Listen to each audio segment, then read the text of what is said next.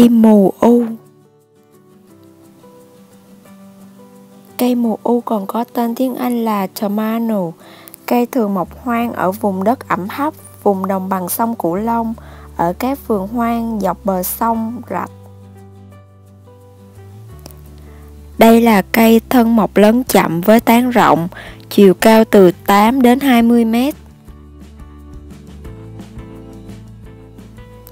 Lá cứng, gân phụ rất nhiều và song song, hoa trắng to, rộng 25mm, nhụy vàng trông rất tinh tươi. Hoa thường nở vào cuối mùa xuân, trái rất tròn, có đường kính 2 đến 3 cm, có vỏ mềm màu xanh, khi chín chuyển sang màu vàng, bao lấy nhân gỗ cứng và có màu vàng nhạt. Nhân có chứa một chất dầu màu vàng lục, mùi riêng biệt gọi là dầu mùa u. Dầu mùa u được dùng để trị bỏng, các bệnh ngoài da và được dùng để điều chế thuốc trị bệnh.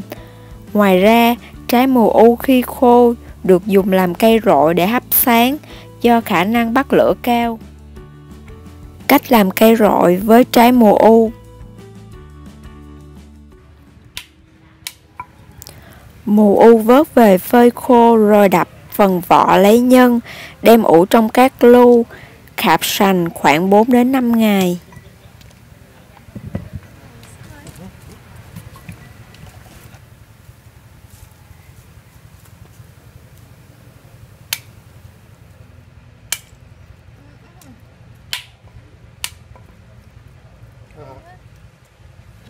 So have the seed inside. There is? Seed. The seed inside the pool. Uh-huh, uh-huh. And what do you do with this? We put in Um, perfect. Mhm. And what do you do with this? Have a look. You will see. Beautiful. Amazing. To make the light. Ah, The light. Instead, we using the, the candle. ah you told me. I Yes. So this is oily, Yes. sort of oily. Cái từ And it's from, and it's from the cotton tree, you said. Yes, yes, yes.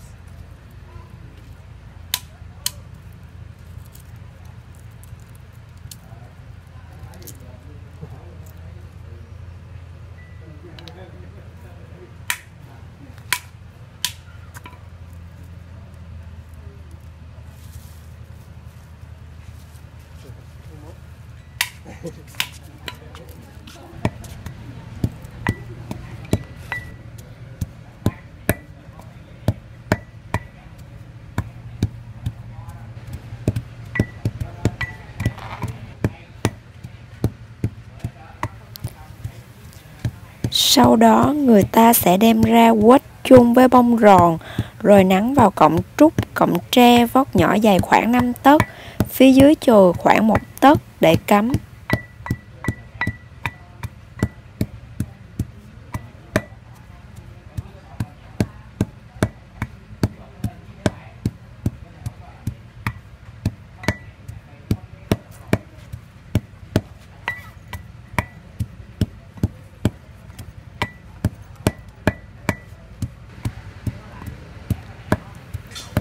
Sau khi nắng xong, đem phơi 2-3 nắng là khô, sau đó đốt cháy sẽ rất bền bỉ cho đến khi hết mới thôi.